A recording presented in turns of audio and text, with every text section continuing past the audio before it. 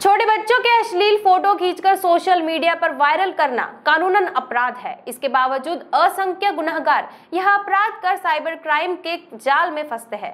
इसे देखते हुए साइबर क्राइम सेल सक्रिय होकर ऐसे अपराधियों पर लगातार नज़र रख रहा है। इसीलिए अगर किसी ने चाइल्ड पोर्नोग्राफी से संबंधित साइट्स सर्च किया तो उसे जेल की हवा खानी पड़ेगी। यह चेतावनी पुलिस विभाग के साइबर क्राइम सेल ने दिया है। अब तक 19 लोगों पर केस दर्ज, साइबर सेल लगातार साइबर अपराधियों पर ध्यान रख रही है। इलेक्ट्रॉनिक्स माध्यम से नाबालिगों का फ़ोटो और वीडियो वायरल करना गंभीर अपराध है। इस तरह की सामग्री अपने पास रखनी भी गलत है।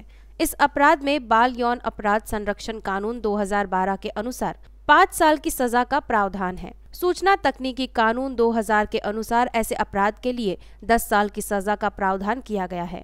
पिछले नौ महीने में 19 अपराधियों पर मामले दर्ज किए गए हैं। चाइल्ड पॉन देखना गंभीर अपराध, वीडियो शेयर करना भी गंभीर अपराध है। साइबर सेल की ओर से कड़ी कार्रवाई की जाती है, इसलिए नागरिकों से सोशल मीडिया का उपयोग सावधानी पूर्वक करने का आह्वान किया जाता है।